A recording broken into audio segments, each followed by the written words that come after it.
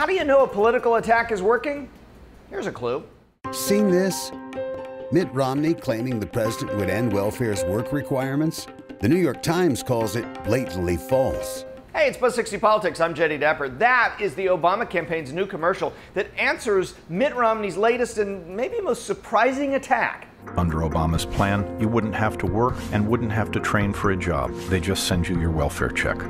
Welfare? Well, first off, it hasn't been an issue since Bill Clinton stole welfare reform right out of the GOP playbook back in the 90s. And second, every independent fact checker has demolished Romney's claim. The waivers being granted to states don't dismantle workfare, and they aren't new. Romney took one himself when he was governor of Massachusetts. But between the ads and the nonstop coverage of the issue by the conservative media, it's obviously working.